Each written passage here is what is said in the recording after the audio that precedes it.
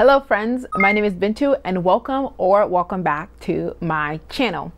So for today's video, I want to talk about two audiobook services that I use or have used in the past, and they're pretty popular. So we're going to be talking about Audible and Scribd and sort of the similarities, differences between them, and what I think they could both be used for. Because I do think they fulfill uh, different spaces, and so it's definitely possible to just have both of them. So a little bit of background on my um, experience with both of these. Audible I've had for about two years that I've been like using it or paying for it. Before that, I think I've I've used the free trial to get um, two free audiobooks, maybe even like two times at least. But I have I currently have one of their yearly memberships, the one where you get 12 credits all at once if you pay the yearly price. The reason I chose that is because it gives you the best cost per audiobook. The cost per credit ends up being about $9 per credit. And I think that's a pretty good deal for, for most audiobooks, particularly since that a lot of the books that I get with Audible tend to be on the longer end and they retail for like 40 something dollars. So it's a steal. The membership is worth it if you know that you're going to be getting um, many audiobooks. And then as far as Scribd goes, I had a month long free trial with them. They give you a one month free trial. And then I also did one month paid because I am that person that always forgets to cancel my free trial before they charge me for the next month. And so of course I log in, I see it on my credit card statement, they charge me. So I got another month out of Scribd unintentionally. So I've used Scribd for two months and I didn't continue my membership with them and I'll explain why later on in the video. All right, so let's begin talking about Audible and some of the, the strengths and, and weaknesses of Audible. So the way that Audible works is that you get these credits and you can use those credits to buy audiobooks. You can also just buy audiobooks in general. So like they each have uh, prices. So sometimes they go on sale if you want to buy them that way. So if you use your credit, for example, for the month or if you've used all of your credits for the year, um, you can buy audiobooks at a slightly discounted price as a member, or you can just buy them in general from their catalog. The price that you pay for credit will vary depending on your membership. Uh, I think the most popular membership is the one credit per month, where it's it's about fifteen dollars, and they eventually add tax to that, so it's a little bit more than that. That is also probably the most expensive cost per credit option. So I like to go for the yearly membership. If you're going to do one per month and you know you're gonna stick to it for a whole year, it's worth it to just get the yearly because you pay you do have to pay for it all up front, but it is a better value. And then the the best cost per credit is the one where you get 24 per year. If you're doing the 12 per year, which is what I'm doing, it actually is the same value as the 24 per year in your first year. Um, and then after that, it is a worse value. Um, I haven't decided what I'm gonna do. Mine won't expire until February, so I've got a couple months to decide how I want to continue with Audible. Um, with Audible, you get access to a ton of audiobooks, including new releases. Um, even books that haven't been released yet, I can pre-order them in Audible, and then it'll be automatically delivered to my Audible account on the day of release. So I can just pull up the app on my phone and it'll be there. Audible probably has the greatest library of audiobooks of any audiobook service out there. Um, um, I can't claim to have tried them all, but I'm pretty sure Audible wins the cake. As far as listening to Audible audiobooks, I can listen to them on my phone, which is usually my go to. Um, if you have a tablet, you can listen to it there. You can now listen on the Audible website. That didn't used to be the case, but it is available now. There's like a player that will open up.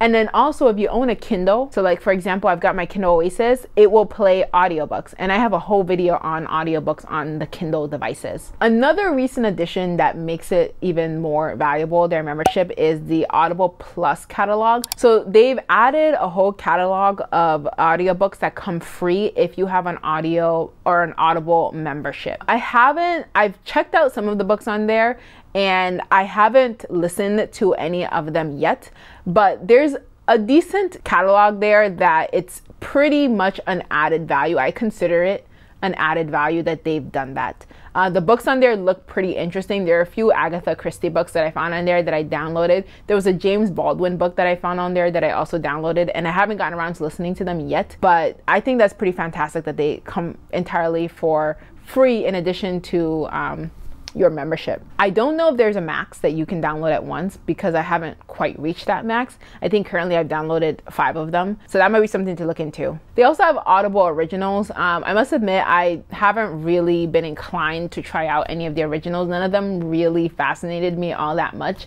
Uh, but they're there if you are interested um, or if you really run out of things to listen to and you just want more free things to listen to. They do have the Audible originals. Um, a couple of the strengths of Audible is that you do own the audiobook that you buy or purchase with credits. Um, and you own it for life basically. So even if you cancel your Audible membership, if you log in, those audiobooks will be there for you to re listen to as much as you like. Um, I think that's fantastic. The downside, I suppose, is that unlike with books, the thing about the tech stuff, the ebooks and audiobooks, is you can't really resell it. So um, I know I, for one, don't really reread or re listen to books that often, if ever. So for me, being able to keep it permanently doesn't really provide additional value.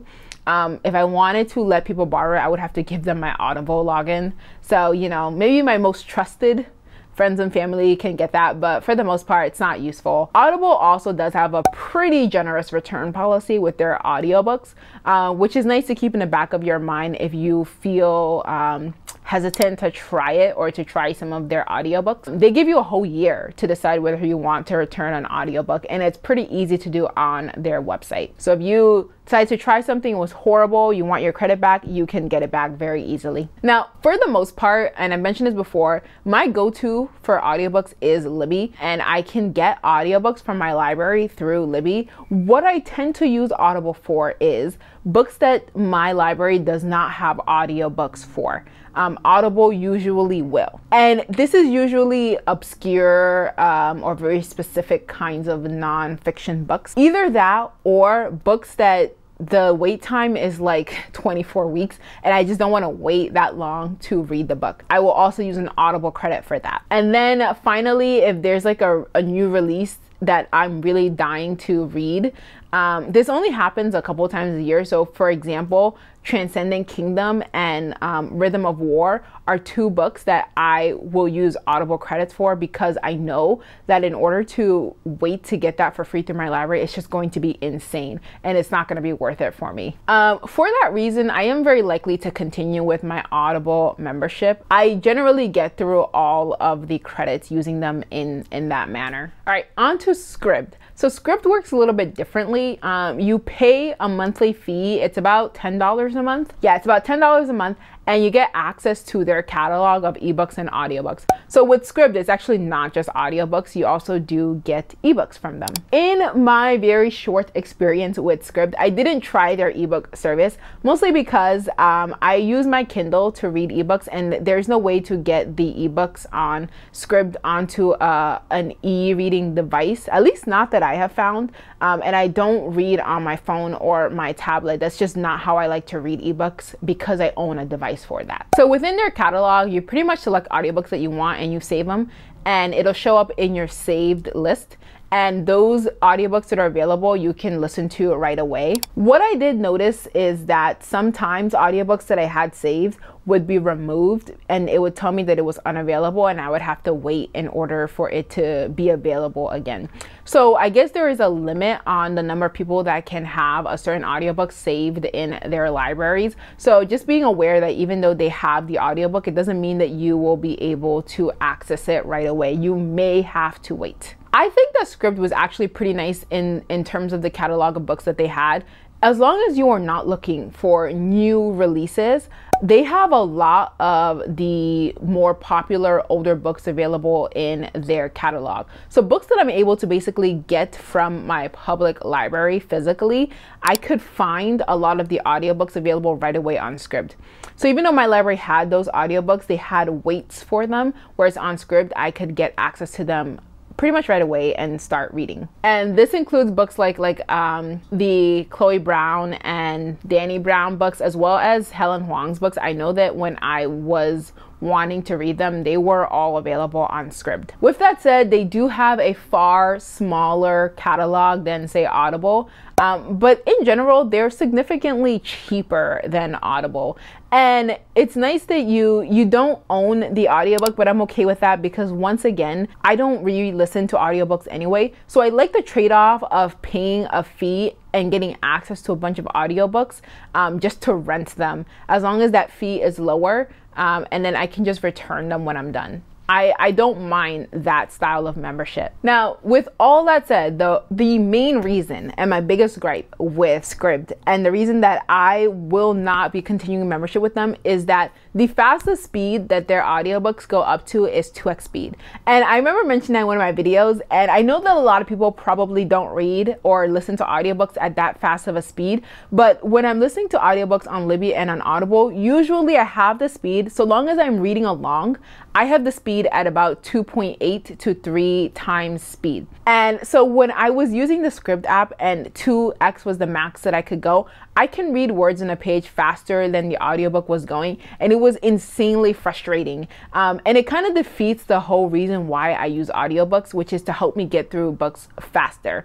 So if it is going slower than I can read, it just it defeats the purpose. If I were purely listening, 2x speed is about the perfect speed for when I'm not reading along with the book. If I'm just purely listening to it, that works. Um, but I like having the flexibility to do both. I also just don't understand. Um, I feel like it can't be that difficult for them to change that one little thing because it's available on every other audiobook app that I have, including Libby, which is a free app. I don't pay for the Libby service. So it, it does, I don't understand why that isn't available on them. It doesn't seem like it would be this huge thing for them to do. I think that if that one aspect were fixed, I would actually um, continue with Scribd. So if they were able to fix that, I would probably continue with them at least for um, a few months at a time. I don't know if I would keep it a constant uh, yearly membership. But if there were like a set of books that I got from my library and they have them, I would sign up for a month and then get through those books and then, you know, discontinue use if I get done with that. All right, so my final conclusion, my final thoughts on Audible and Scribd. Again, I think they're they are both uh, useful just in a very different ways. And they do serve two different services and probably two different audiences as well. So I use Audible. It's fantastic for new releases or for obscure books where the audiobook isn't readily available from a public library, for example. And this use is usually the case with uh, nonfiction books and certain non-popular fiction books where the library just doesn't feel the need to invest in audiobooks for, for those books. And then Scribd is super useful for easy and quick access to a wide library of audiobooks that aren't um, particularly new, but they're probably older popular releases, and you don't have to wait for it to become available from your library. Um, it is very likely that if Scribd has it, your public library also probably has it, but it takes away the wait time, although it might still be there just a little bit. Overall, though, I do think that they are both good value for the um, needs that they fulfill and the needs that they serve. And so at the end of the day, for me, I, I do still have Audible and Scribd is something that I would continue with if they just fix that one issue that I have. Let me know if you guys have tried out either of these audiobook services um, and what your favorite audiobook app is. For me, it is in fact the, the Libby app. In the meantime, thank you guys so much for watching this video and I will see you in the next one. Bye.